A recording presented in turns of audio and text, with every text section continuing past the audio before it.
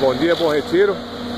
Movimentação aqui na entrada da rua Tiradentes com a Hermaene, entrada da Ecomax. O Samai atendeu aí nosso pleito, né? Que era para nivelar esse asfalto. Estava bem irregular aí em função de todas as interferências que ocorreram. É, nós tivemos aqui a ligação da rede de esgoto da rua Tiradentes com a nova rede da rua Hermaene. Nós tivemos a situação do Odebrecht, a BRK ambiental rede de esgoto e lá no canto, próximo da calçada ali do colégio Tutuína, temos aquela boca de lobo é, que foi instalada quando foi trocada aqui a tubulação Açado Bom Retiro.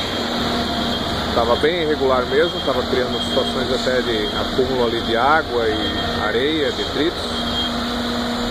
E por insistência nossa aí, também junto com a BRK Ambiental, nos apoiou nesse pleito Samai está executando esse nivelamento. Totalmente atendido, né? Estou é, aqui fazendo o registro.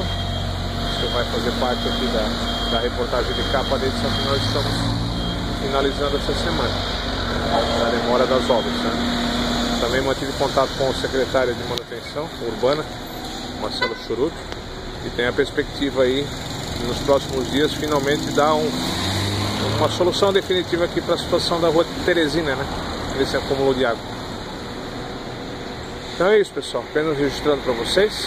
Continuamos aqui cobrando, né? Uma série de demandas nós, nós enviamos para a prefeitura. E vocês vão estar acompanhando qual foi o retorno aí nos, na próxima edição do Viver.